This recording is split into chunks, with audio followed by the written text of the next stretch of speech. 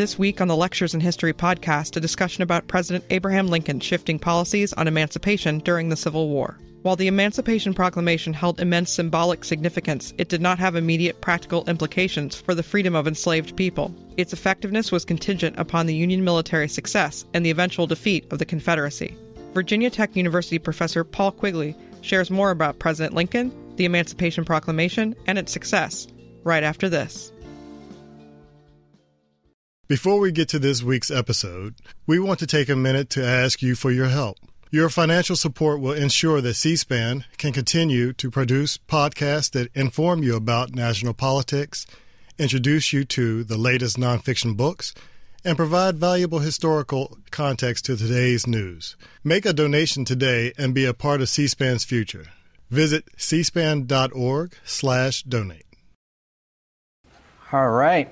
Well, welcome everyone. Uh, we're going to have a slight uh, change of gear today. We're going to talk about the political struggle over emancipation in the US. And to start with, I have got a very straightforward, maybe a straightforward question for you all. Who freed America's enslaved people? What do you think? Go ahead, Max. Yes, you could say Honest Abe. Okay. All right. Thanks for making it easy for me to write. Abe. Is that it? Can we go home now? Go ahead. Union Army. Okay. Yep. Another good one. Union Army. Go ahead. Congress.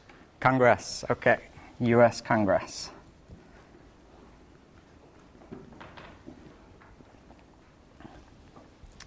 Any others? Go ahead. Themselves. Yeah, themselves. So enslaved people themselves.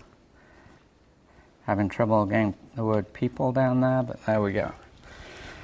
Yeah, so this gives us a sense of the variety of people involved in this process. It's obviously not the kind of question you can answer just with a single word. Um, that would be very nice, uh, but that's not the case with this question. Uh, what we're going to do today is kind of piece together our answer to this question, figure out how all of these different individuals and groups participated together. Some of them kind of willingly and consciously and deliberately, some of them not so much, um, but how they all contributed to this process of emancipation. And the way we're going to do it is by starting out with the African American perspective. And in a way, this is the most straightforward one because African Americans came into the Civil War with one overarching priority of freedom. So that's kind of the easy group to understand their motivations, and that's why we're going to start there. But we're next going to turn to federal emancipation policy. So, what's going on in Congress in Washington, D.C.? What is the thinking there about emancipation as a Union war goal? And how does that change over the war? And this one is much more complicated than African American perspectives because it does change so much between 1861 and 63, and then even after that into uh, the later years of the war. And of course, of all the people in Washington, um, Abraham Lincoln, as president, as commander in chief, is the one who gets talked about the most in terms of who was driving emancipation policy, who was overseeing the whole thing, who's responsible for freeing America's enslaved people. So I think it was uh, very uh, fitting that the first answer I got to the question was honest Abe, Abraham Lincoln, um, because for so long he's been the one who's gotten the credit for emancipation, basically.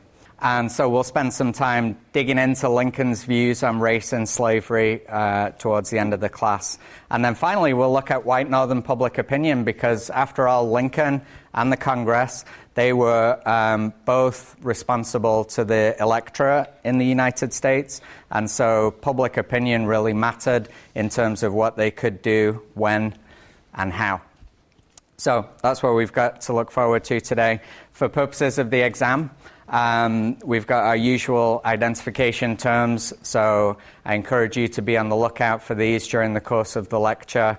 Uh, think about if you get the question on the exam, how you would identify these terms and then briefly explain their significance. So the first one is kind of a three in one. It's Frank Baker, Shepard Mallory, and James Townsend.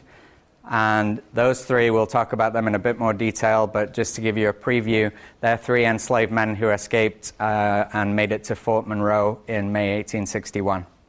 Um, so that's one of the terms. The other, I kind of had to do this given today's topic, is the Emancipation Proclamation. So again, as we're talking about the document and the decisions that went into it, just be thinking about how you would explain the significance in an exam of, uh, of uh, the Emancipation Proclamation. So, beginning with the African American perspective, again, this is by far the most straightforward one to grasp because it stays pretty constant throughout the war and because the same kind of impulse characterizes the large majority of African Americans during the Civil War years. And that's why I included this sentence in such big font and r- the red color, just to let you know uh, that this is a really important fact. It's one that's very obvious, but it's one that's easy to overlook as well, I think, in thinking about how emancipation unfolded during the Civil War. That simple fact that enslaved people wanted freedom, as we'll see, helped to drive a lot of the decisions that other people were making, uh, in addition to enslaved people themselves. Um, and this was true, of course, before the Civil War. We've already talked a little bit about escapes from slavery before the Civil War, how important they were in, in uh, driving the political conversation around slavery in the 1850s.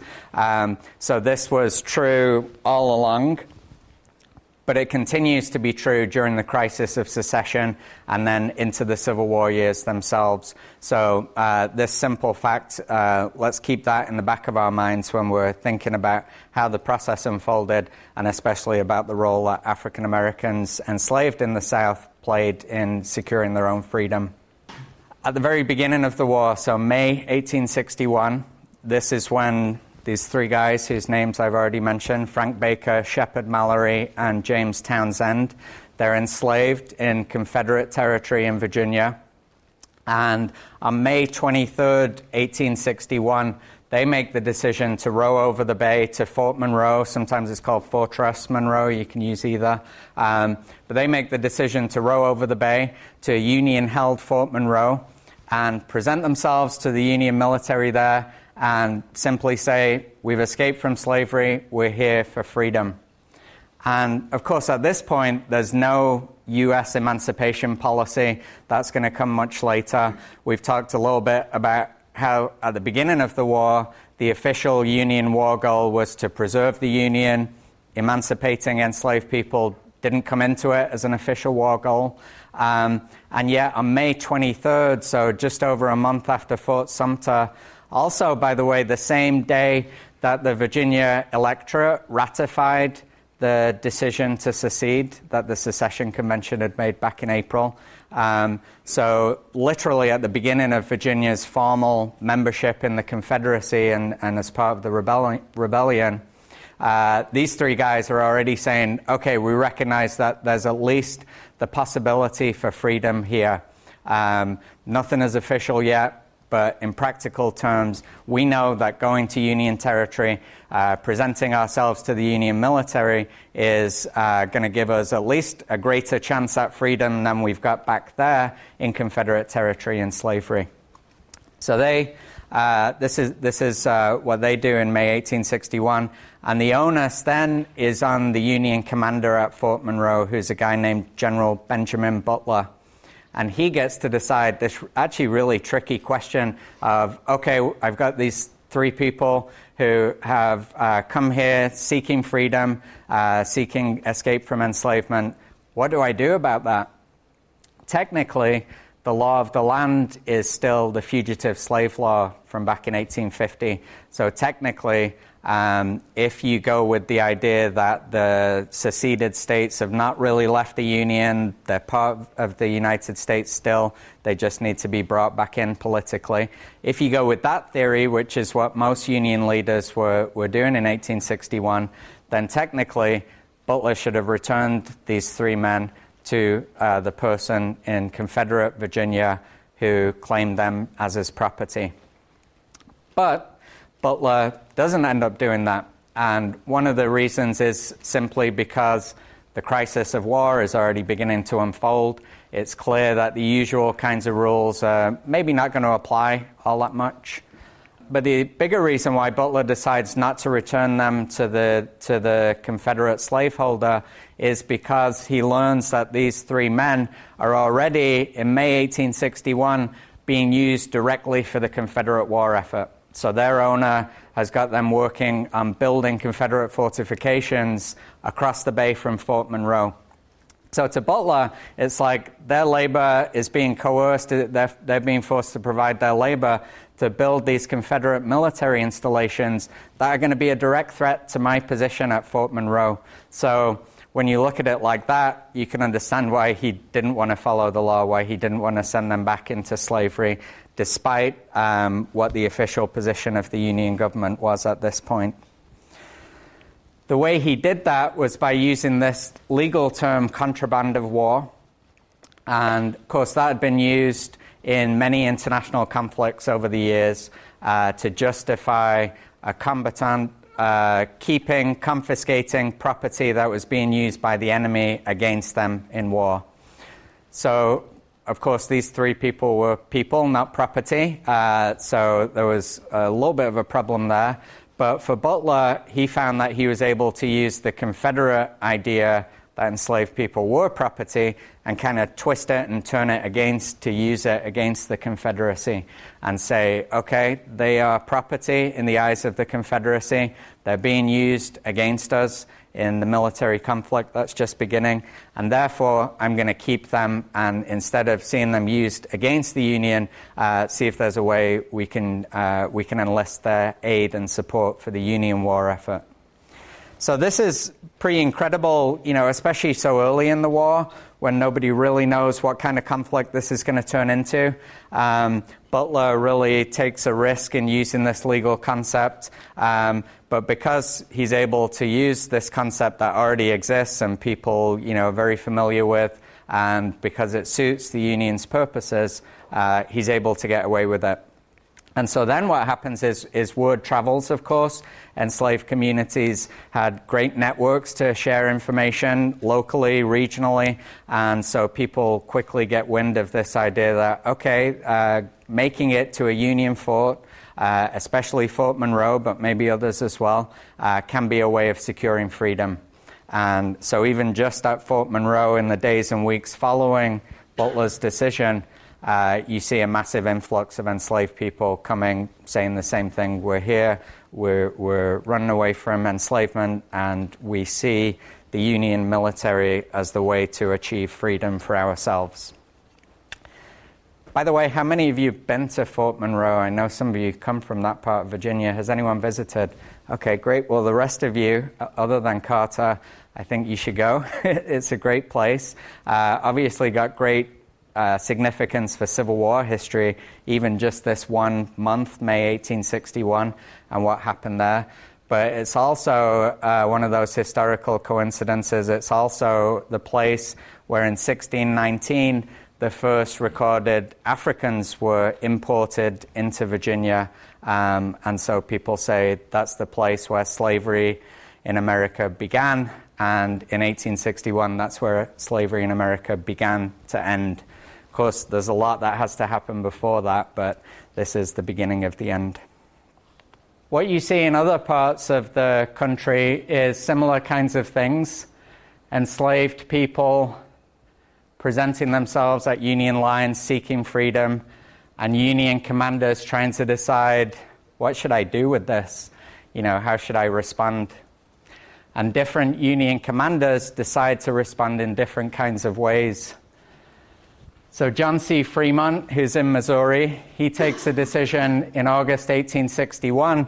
Uh, things are not going well for the Union in Missouri. It's not seceded, but there are military actions going on, which are generally going in the favor of the Confederacy.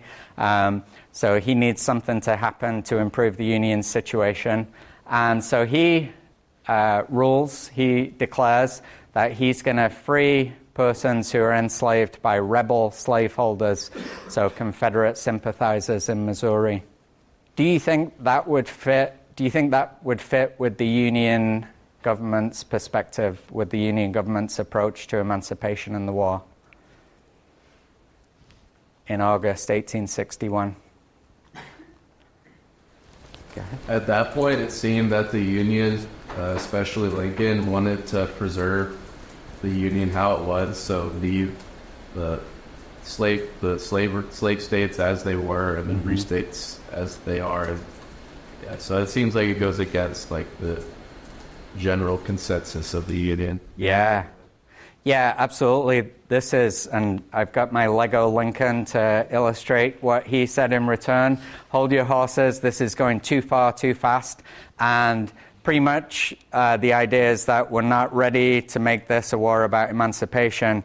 And especially in a border slaveholding state like Missouri, which is still in the Union, because Lincoln in 1861 and after that is uh, really placing heavy priority on keeping the loyalty of those states and letting Fremont uh, uh, emancipate the uh, enslaved people, even if it's only Confederate sympathizers, is going to destabilize slavery in Missouri and possibly tip them over the edge into seceding and joining the Confederacy.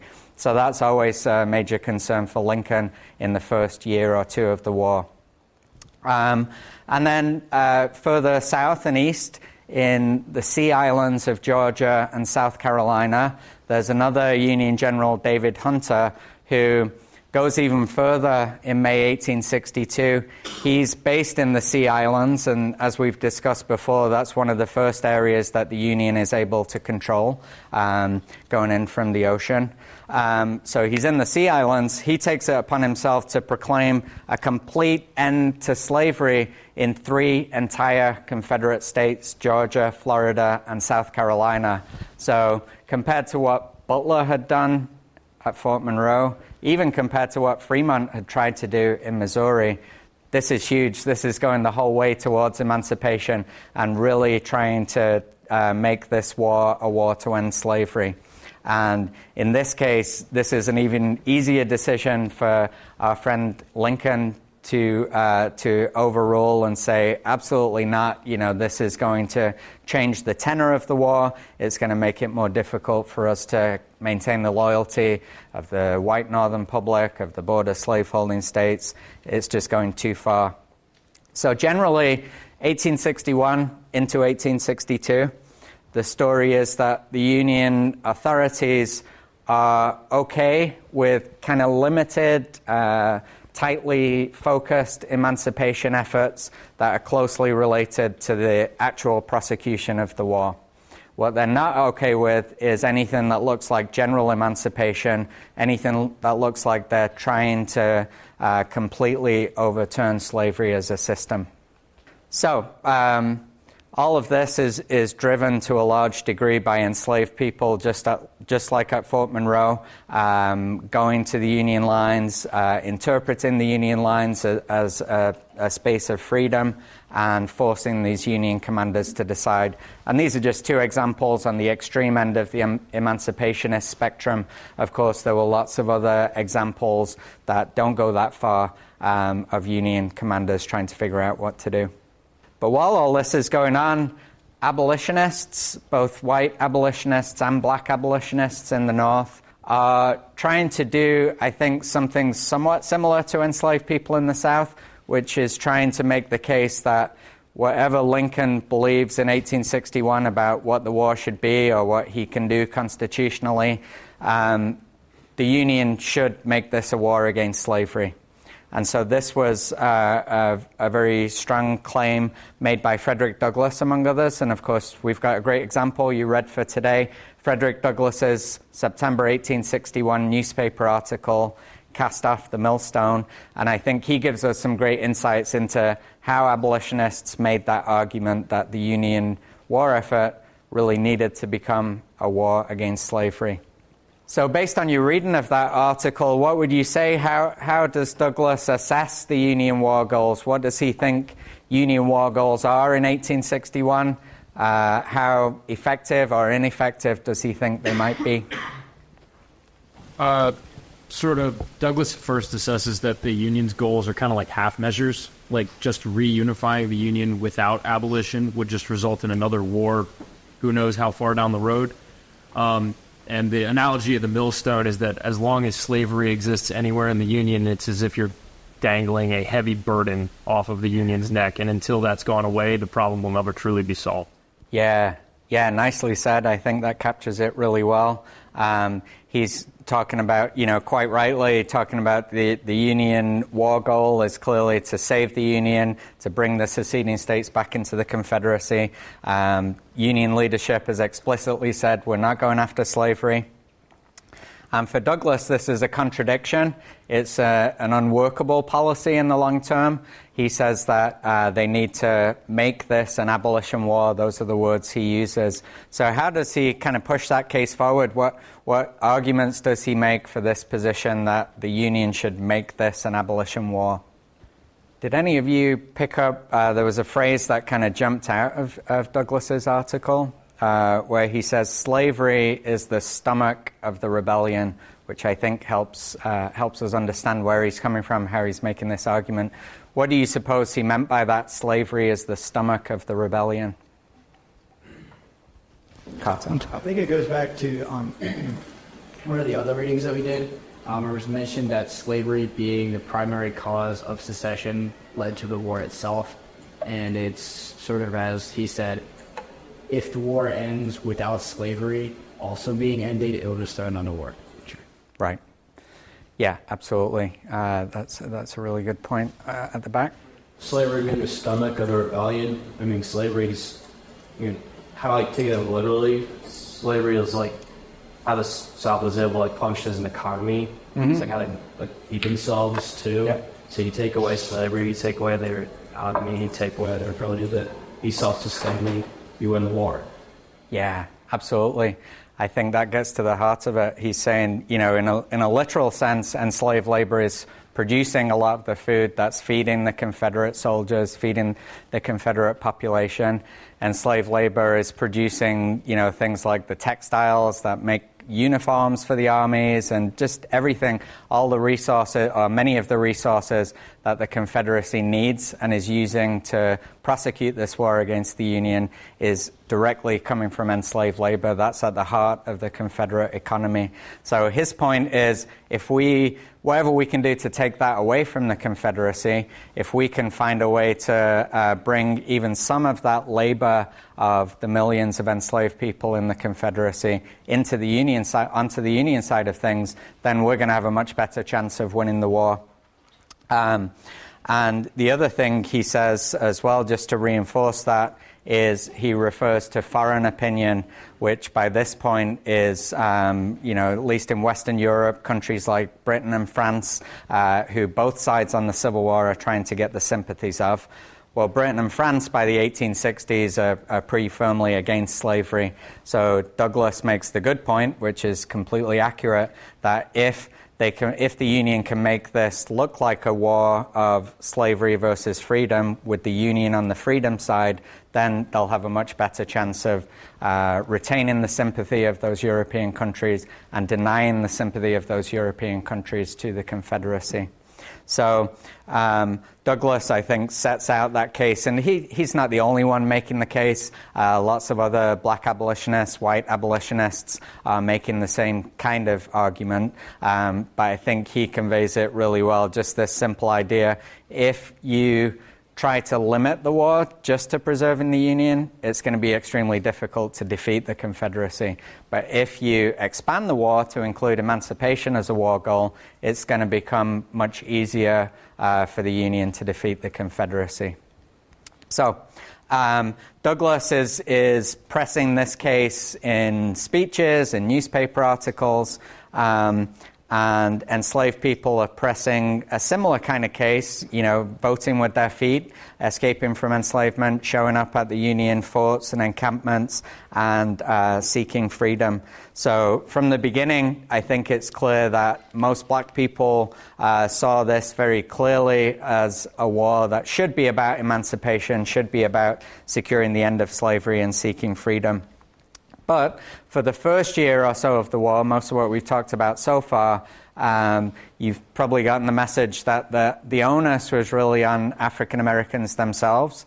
So it's mostly the case that uh, black people are doing the pushing, and then the leadership, whether it's the military leadership or the political leadership, are kind of reacting to what they're doing and, and, and being pressured and encouraged along the way by African Americans. Well, let's turn to uh, Washington, D.C. now and take a look at federal policy. And, and as I said, this is much more uh, variable, changes a lot more during the Civil War than, uh, than the African American priorities do. And by the way, the picture is of the U.S. Capitol building. I think it was taken actually at Lincoln's uh, inauguration in March 1861. And it shows that the Capitol is under construction, which people often see as kind of a symbolic, you know, they're in the middle of replacing the dome of the Capitol. They've kind of um, taken apart this really important symbol of the American, of the US federal government. And during the Civil War, it's being rebuilt and reconstructed. And of course, that's a nice metaphor for what was happening during the Civil War. But in, in the Capitol building, uh, Congress, of course, had important decisions to face about emancipation policy, uh, as well as every other thing connected to the war. And of course, at the beginning, in 1861, neither Congress nor Lincoln, as president, made that decision to turn this into a war for emancipation. And I think one obvious question to ask is, is why not? Why didn't Lincoln or Congress just decide in 1861, okay, Frederick Douglass is right, you know, we do need to turn this into a war against slavery if we're going to win it. Um, this is what we want anyway. Lincoln is anti slavery. Uh, the Republicans hold the majority in Congress. They're anti slavery in different kinds of ways. Um, so the question is why didn't they do that in 1861? What, what do you think, Riley? Um, everyone there was, uh, especially in the Union, they weren't wanting to make this really a war about uh, emancipation. They were wanting to more along the lines of what uh, Lincoln's vision was to preserve the Union. If mm-hmm. they had gone to war specifically to end slavery at that time, there might not have been as, I guess you could say the word is like passion, like patriotism uh, and willingness of the soldiers to to fight. Yeah. So. Yeah, so Lincoln sets the tone from the top, and you, you know you've read his inaugural address from 1861 in March, uh, where he says, you know, this isn't a war uh, that's going to end slavery. I don't think the president has the authority to actually do that. So he sets the tone from the top. And then public opinion, including soldiers, you mentioned, Riley, uh, would have been, it would have been very difficult to actually sell this to the northern public, including all those guys you want in uniform in 1861. Uh, they were simply not ready, for the most part, uh, to accept that emancipation was something that they wanted to fight for, risk their lives, and all of that kind of thing. Any other thoughts on that? Why, you know, any other barriers to abolitionism in 1861. I think they probably also saw emancipation as um, something that would almost be ne- like negatively impacting their desire to preserve the union at the time, because it wasn't it wasn't a foregone or predetermined conclusion at this point that they were about to fight a four year long war. Right. So it might emancipation probably was seen as being something a little too risky in the context of trying to keep the union together. Yeah. Yeah, that's really important. I mean, if they had known what the war was going to turn into, maybe then it would have made sense in 1861 as a policy decision. Uh, but of course, they didn't know that. They did know that um, emancipation would be revolutionary, uh, an incredibly radical move on the part of the federal government that, um, from the perspective of 1861, would just exacerbate the crisis rather than solving the, the problems that had led to the Civil War. That's what they thought in 1861. At the back. I think um, one interesting topic about this is one of our readings was discussing the Union soldier, and a lot of people at the time that were in the Union didn't fight specifically for emancipation. Yep. Um, specifically, this one was, in fact, a supporter of the Democrats and was from the North, and discusses that when he began to fight, a lot of them, like himself and fellow soldiers, were having doubts to the point where there were soldiers in the Union basically deserting and going to join the Confederacy because they didn't fight for emancipation; they fought for the uh, Union and the Constitution. Yeah, yeah. He's a so um, the the reading that we did for, uh, for today um, were letters written by this white Union soldier from Ohio. We're actually going to discuss them a little bit later in class, um, but I do think they help us to understand uh, the um, widely held opinion among white Northerners that emancipation was not something worth fighting for.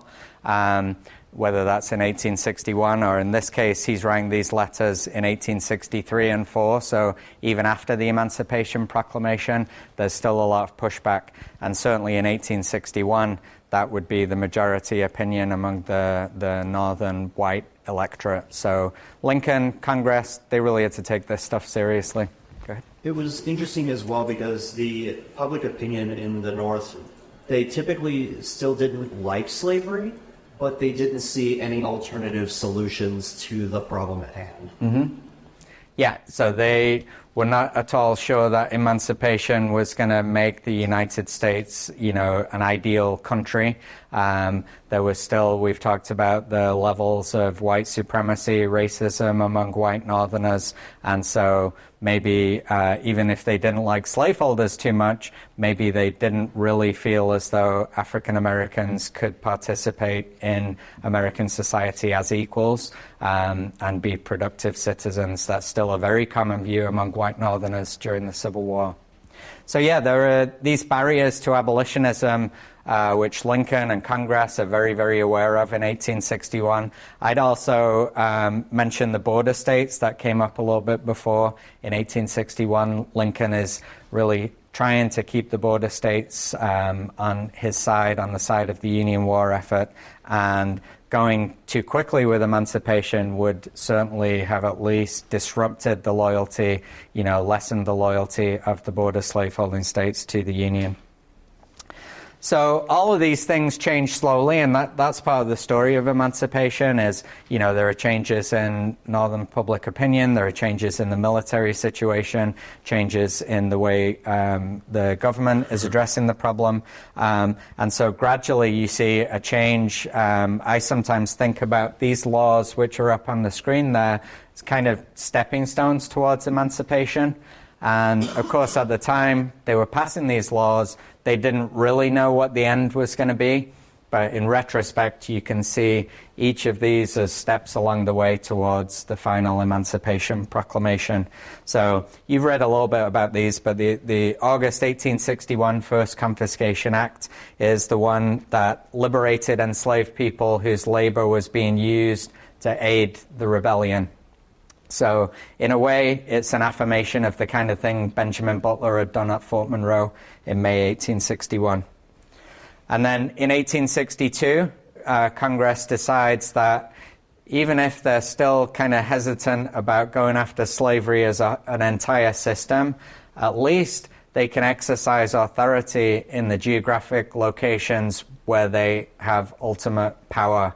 Um, so, Washington, D.C. is one of those and the federal territories is another. So there's none of the constitutional qualms that you know we've talked about and will talk about uh, about ending slavery altogether in the states um, when it comes to these two locations. So that's a fairly easy thing for Congress to do: is to end slavery in Washington D.C. and in the federal territories. And then in July 1862, you get the Second Confiscation Act. And, you know, obviously building on the first, you, you get the sense from the name of it that is picking up and, and pushing it further along. Um, and the Second Confiscation Act said that people enslaved by rebel slaveholders were permanently freed regardless of whether their labor was being directly used for the Confederate war effort. So it just expands from the First Confiscation Act and um, make, makes uh, more enslaved people liable for this, uh, this kind of emancipation. The other thing the Second Confiscation Act did, by the way, is it explicitly called on Lincoln as Commander in Chief um, to kind of take control of the process uh, specifically by issuing some kind of directive or declaration or proclamation uh, laying out his uh, take on emancipation as commander in chief because so much of this story is tied up with um, the progress of the military side of things and the Union armies. Um, well, who's in charge of the Union armies? It's Abraham Lincoln as commander in chief. So Congress, by this point, is pretty much saying we're doing what we can with these, the, these legislative stepping stones, um, but really the commander in chief needs to uh, exercise some control over the process and, and try and guide it a little bit more directly. So that, I think, helps understand a little bit of the timing of the Emancipation Proclamation. So I think Congress um, is certainly a major, major actor in the story of emancipation. You know, the question at the beginning, I think Congress uh, deserves a lot of credit for the progress toward emancipation, but somehow there's one resident of Washington, D.C., who usually gets most of the credit for emancipation, right? This guy. Has anyone seen this statue, by the way? I know it's uh, kind of a narrow view of the statue, it doesn't give you a good sense of where it is. But this is in Lincoln Park in Washington, D.C. Um, so some of you may have walked past it or, or even seen it without really connecting it with the image you see on the screen. But what kind of image does this uh, give you about Lincoln and his role in the emancipation process? Go ahead. I think it sort of portrays him as being a liberator. Um, he's got the skull of the Emancipation Proclamation in his right hand, and yeah. based on his posture and position, it's sort of like saying, like, be free. Yeah. Yeah, absolutely. I think the you know the posture in statues is always really important to look at and pay attention to. And in this one, Lincoln is kind of towering over um, this African American figure who's on his knees, uh, still in chains, maybe broken chains around his wrists. Um, and it's clear that Lincoln is the one in control of this process, right? He's the one standing tall, uh, holding his hand out. Um, he's, the, he's got the Emancipation Proclamation. Presumably, that's what the scroll is. I think you're right there, Carter. Um, so he's in control. I think another um, important thing to maybe talk about is um, he has his hand clenched up and on uh, the podium that is uh, next to Lincoln, and it's almost like he's trying to say, like, you know, I'm putting my faith mm. into uh, into the government. I'm putting my faith in into Lincoln. In a yeah. way. Yeah, kind of pledging loyalty to Lincoln. Um, also expressing gratitude, I think, you know, that's the kneeling posture. Again, that's really important in statues. Um, uh, so I think he's absolutely conveying that sense of gratitude, you, you, know, almost as though Lincoln gave him the gift of emancipation and freedom, uh, pledging his loyalty, his fealty to Lincoln as the representative of the U.S. federal government. Um, yeah, I think uh, those are some really good points about this statue. And really, it's part of a, a much wider way of representing Lincoln as the great emancipator. That's the phrase that people have often used to describe uh, Lincoln's role in this process. And so these are just a couple of other examples. Um, the one on the left is a Currier and Ives print from the 19th century similar kind of uh, story being told. Uh, the grateful, uh, formerly enslaved man. Uh, this time, there's also uh, a woman and children standing behind him as well. Um, but the basic message is the same, right? Lincoln's in control of this. And then I like the example on the right. Um, the statue, again, is saying the same kind of thing about the great emancipator, but this one is a, a, long, a lot further away from us than Washington, D.C. There's a little clue on uh, the bottom of the plinth here in memory of Scottish American soldiers, um, and this statue is in Edinburgh, in Scotland. And so I used to teach there, including U.S. Civil War history. And so this was this was actually the field trip that I would take my students to. It was just about a mile away from the university campus. So it was nice that even in Scotland we had a place we could go to to, to learn a little bit about Civil War history. Um, but Lincoln obviously um, is an important actor in this process, even if he's not the great, the great emancipator, right? The only one who's playing any role in this process. Um, as you know, I hope. Uh, Lincoln did, in fact, sign the Emancipation Proclamation, so it's like you can't take that away from him. Uh, you can't say he didn't, uh, he didn't play an important role in this process.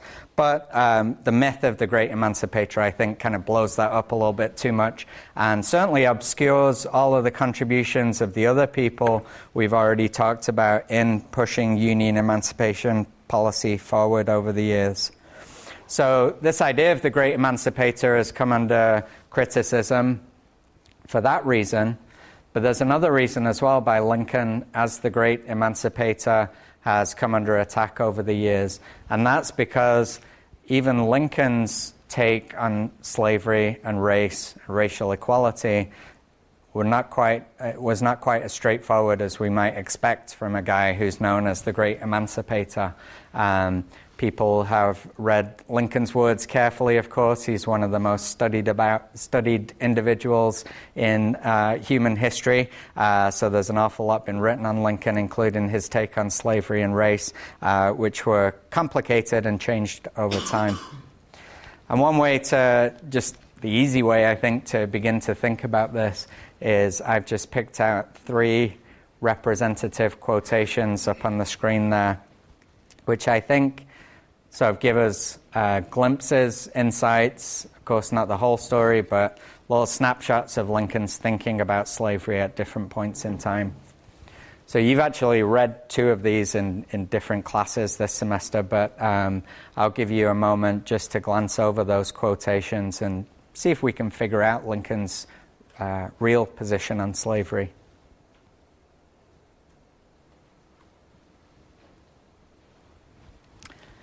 All right, so I think the question is uh, looking at these quotations, help me figure this out. Uh, was this guy, the great emancipator, was he actually an abolitionist or not? Okay. I think the biggest thing to look at with Lincoln is that his entire presidency, he spends it torn between how he personally feels and the responsibility of his office.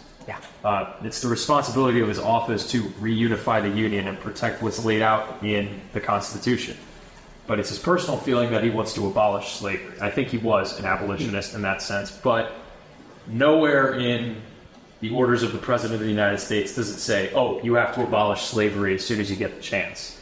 So I think he spends a lot of his time leading up to the proclamation torn between, again, his personal feelings and what his job is as the President of the United States. Yeah. Yeah, I think that's crucial.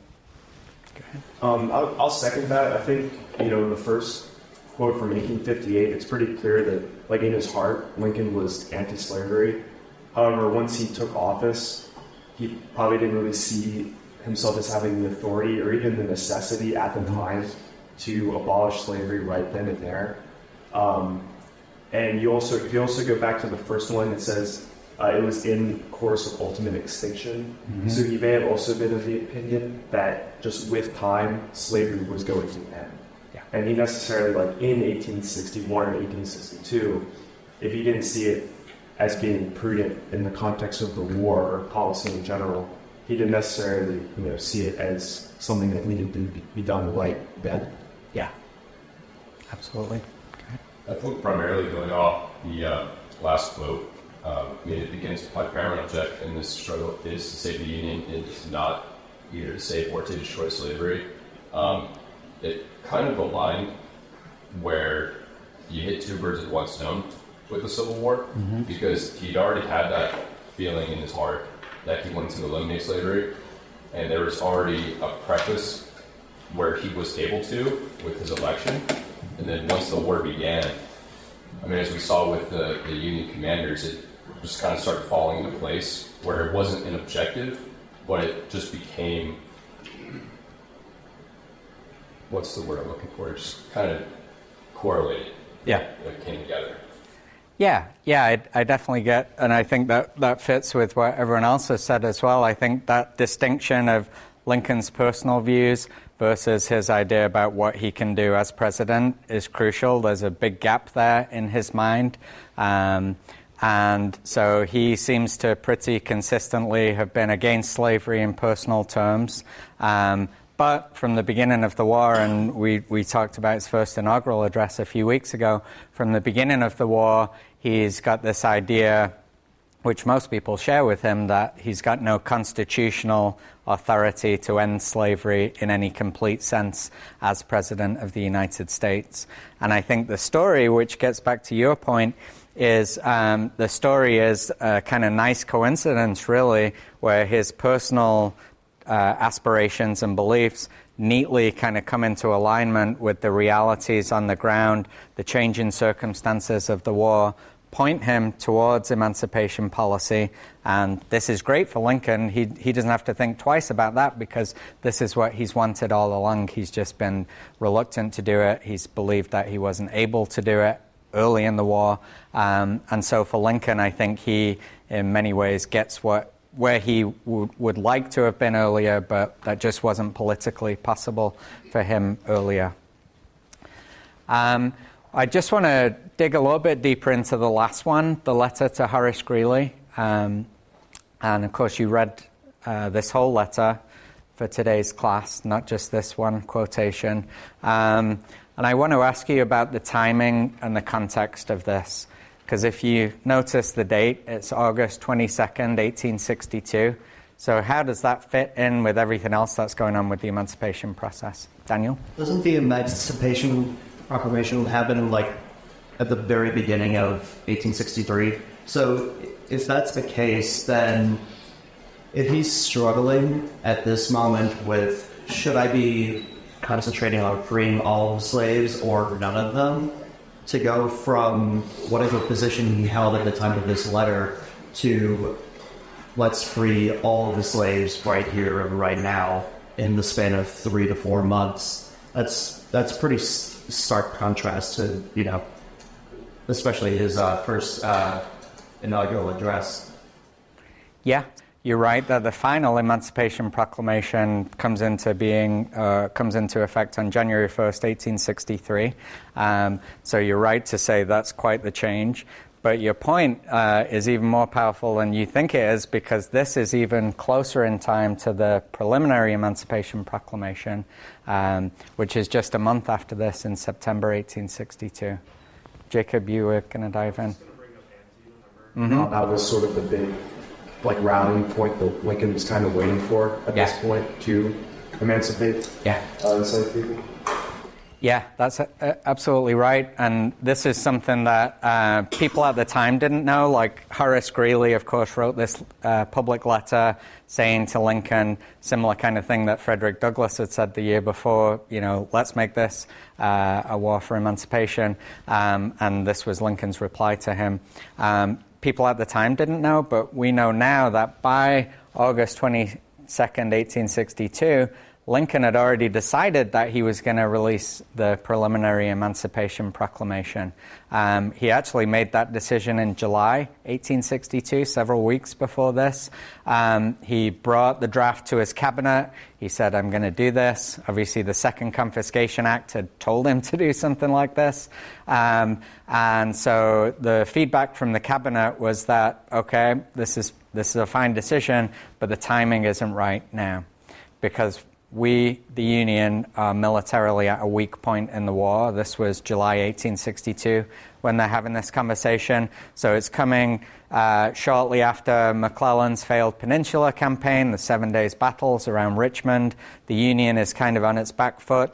Um, so the cabinet tells Lincoln, do this, but do it from a position of strength because anytime you introduce a transformative policy decision that you know is going to be controversial, that you know people aren't all going to be behind, you want to do it when you're in a position of strength, not weakness. And, and so that's exactly right. So at this point, he's going to do it. He knows he's going to do it. Um, he's just waiting for some positive news from the battlefield. Um, just before we leave Lincoln um, for a moment, I just want to mention as well that in addition to his kind of mixed signals about slavery that you see in, the, in these quotations, um, we don't have time to get into it in today's class, but he also sent very mixed signals through his life about race and specifically about racial equality. And he's on record as saying that he did not believe white and black people were equal, could be equal. He's also on record even more insistently saying that because so many white Americans hold that belief in racial inequality, um, there's no way after slavery ends that the two races can live side by side in the United States as equal partners in politics and society and culture. Um, so Lincoln is one of those uh, Americans who believes in colonization. So the idea is that, okay, we can end slavery, but we also want to move as many African American people as possible out of U.S. territory so that, you know, we don't have to deal with the challenges of being a biracial society. And this has got a long history, decades long history, the colonization movement. Um, Lincoln is just one of many proponents of that idea. And the important point for today is that he's still um, advocating colonization. Even now, in August 1862, he's decided he's going to issue the Emancipation Proclamation, but he's still saying, but you know, we, that, that needs to go along with some kind of colonization so that we avoid uh, those problems generated by so many white Americans' belief in racial inequality. Um, so, complicated figure, lots of books written about Lincoln, including just the stuff we've talked about uh, in the last few minutes. Um, but we'll move on. I think I see a question from Miles, though. By like January 1865 and like the 13th Amendment that Lincoln still holds that view of Yeah, this is a really good question. We're, we're talking about today's class about shifts in attitudes and policies roughly from 1861 to 63. Um, but things continued to change after 1863, including with Lincoln and lots of other people as well. Um, and I think Lincoln certainly grew and learned a lot racially during the Civil War. Um, even by 1863, he's kind of moved further along to more of a progressive uh, position uh, than he had at the beginning of the war. And certainly by 1865, we'll talk in a few minutes, uh, just very briefly, about uh, the importance of African American soldiers to the Union war effort in the second half of the war. And among other things, seeing how important black soldiers were to Union victory and seeing the commitment of black soldiers on the battlefield, off the battlefield, um, helped persuade Lincoln, among many other white Americans, that um, you know racial inequality wasn't as kind of fixed and pronounced as they may have thought before. So yeah, I think in answer to your question, I think Lincoln certainly moved more in the direction we would want him to move in, um, uh, even more so between 1863 and 65. Okay. So uh, he's waiting. He's waiting for good news from the battlefield, and we, we've already talked about Antietam in September 1862, so there are no surprises there. And of course, it's not like a dramatic, spectacular, complete annihilation of the Confederate forces. Uh, those kinds of victories are rare in the Civil War, but Antietam is enough of a Union victory it ends with Confederate forces retreating back into Confederate territory. That's enough for Lincoln to um, make the decision. Now's the time, just a few days after Antietam, uh, to release the preliminary Emancipation Proclamation. And this, so this is the preliminary proclamation, uh, doesn't really do anything that takes effect immediately. Uh, this is the one that says if the Confederates are still rebelling in rebellion on January 1st, 1863, then the emancipation policy will take effect and enslaved people in territories still in rebellion in 1863 will be declared free. So, what it does is it gives the Confederates a way out, actually. It gives the Confederates a path. It's kind of a, you know, a warning. Uh, it's, it's a path for the Confederates if they change if they decide to give up their fight to leave the United States, then they can do so with slavery intact. So even though it's the Emancipation Proclamation, it's like an offer to the Confederates, really, that we will not carry out uh, emancipation if you decide to stay in the Union. So you still see that priority of uh, saving the Union, preserving the United States over emancipation. even the final proclamation, of course, by the way, you know the Confederates didn't give up fighting, they, they did not take that decision. Even the final Emancipation Proclamation, I'm sure you've all heard people say before, well, it didn't free a single person because the way they wrote it is it only applied to Confederate territory that was still in rebellion. So that excluded, of course, the border slaveholding states um, that had not seceded from the Union. So slavery was still intact. Uh, some of them uh, ended slavery during the war. Two of them, Kentucky and Delaware, actually waited until December 1865 when the 13th Amendment was ratified. So slavery still exists in these border slaveholding states.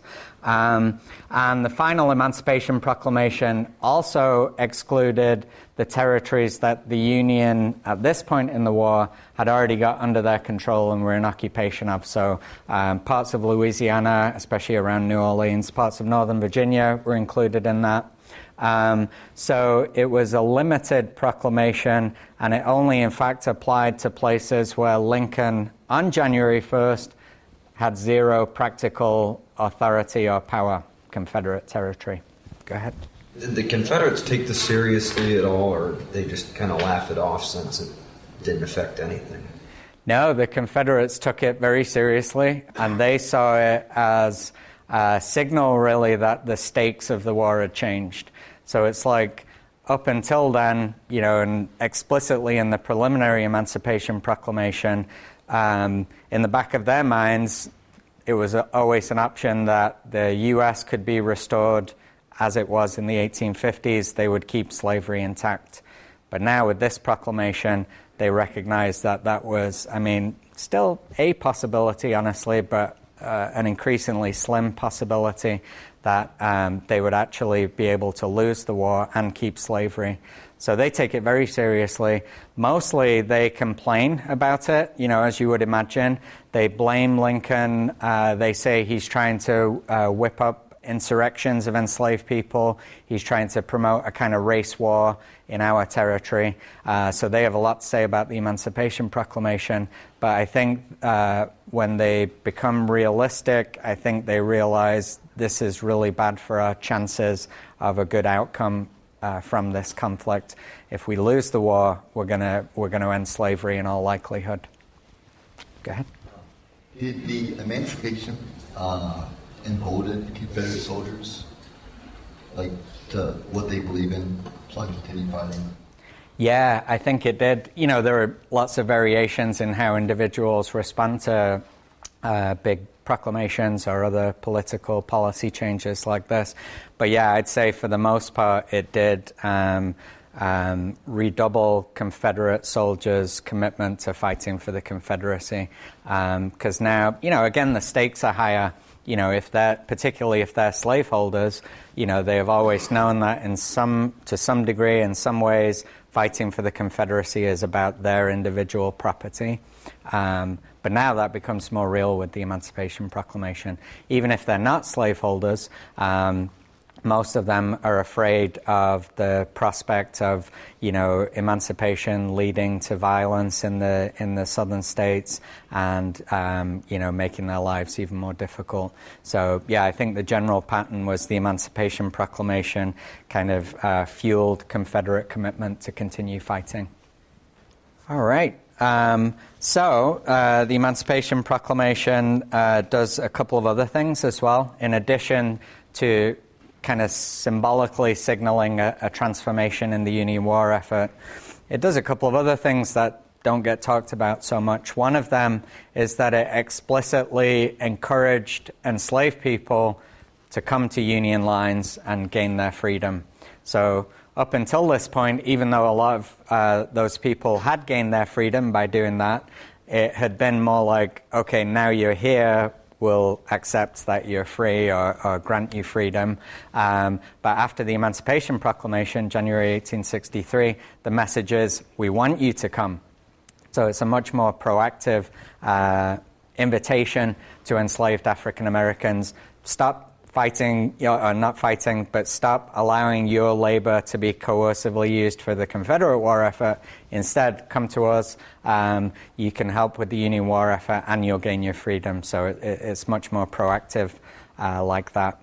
And then the other thing is the final proclamation uh, explicitly invited black men into the U.S. military as well. So this had happened a little bit in 1862 um, but in small numbers. And it was only really after the Emancipation Proclamation in 1863 uh, that large numbers of African American soldiers were able to join the U.S. military and uh, play a really crucial role in the winning of the war. We have a question right here. Yeah, how did uh, the enslaved people in the South receive word of the Emancipation Proclamation and what uh, it entailed? Yeah, it's a great question. Um, how did enslaved people communicate? You know, how did they receive the news? Um, you'll remember that they were legally uh, white people in the in the southern states legally prohibited from teaching enslaved people to read or write. Um, some of them got around that, you know, a good number, so there was the possibility that some of them were able to read in the newspapers, but typically through more informal communication networks, so just kind of in the day to day business of, you know, someone from a neighboring plantation gets word, maybe they're on the coast and there's some news that comes in by boat or, you know, something like that. So enslaved people were actually uh, pretty well informed throughout the Civil War as to the general tenor of what was going on with the war. And those three guys in, at Fort Monroe in May 1861 are a great example of that. They knew exactly what was going on and they decided to take advantage of it. And that continues to be true. Of course, once you get into the deep South, uh, Confederate territory, it takes longer, it's harder for word to spread, but it still spreads. Okay, uh, let's see. So, even after this, there's lots of work to be done. Um, most immediately, of course, the Union has to actually win the war in order f- uh, for this emancipation policy to really become meaningful. Um, and when the Union did win the war with the surrenders in the spring of 1865, the large majority of enslaved people in the Confederacy were still enslaved. So it's been estimated that by spring 1865, about one in every seven enslaved people in the Confederate States had already gained freedom because of the Union Army marching through and occupying their territory. Um, the rest, six in every seven, uh, were still enslaved in the spring of 1865. It was only by winning the war that the Union could actually implement emancipation policy. And of course, even after that, even after Union victory, there are still some question marks. I referred to this before. You know, there's a much smaller possibility that the Confederate States will be able to keep slavery, but it's still just about thinkable that they might manage to do that. For example, uh, legal challenges to emancipation policy. Uh, constitutionally, you know, this is an unprecedented situation. So there's always that question, even when the Union wins the war, are the Confederate States somehow going to be able to challenge this legally and, and retain slavery? Um, and uh, it really wasn't until the 13th Amendment, as I said before, that slavery was 100% over, at least in the form that it existed until then. Um, it took the 13th Amendment to finish off slavery in, in the border slaveholding states, Kentucky and Delaware, uh, most notably. Um, and nationwide, to get that into the Constitution was the only way they could be sure that it was definitely gone. So, uh, just a quick look. We've, we've not got tons of time left, but we can have a, a quick uh, look at white northern public opinion and how it changed. And as I mentioned before, this is a major influence on governmental policy, whether it's Congress or Lincoln. You know, they're responsible to the Northern electorate. There are congressional elections throughout the Civil War. There's also the presidential election in 1864.